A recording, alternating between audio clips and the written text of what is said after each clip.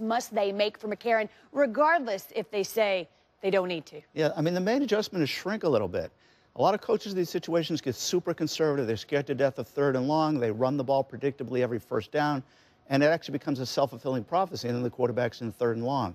So shrink the thing a little bit so you don't give him too much of a mental challenge. You can try to relax mentally and let his physical abilities take over.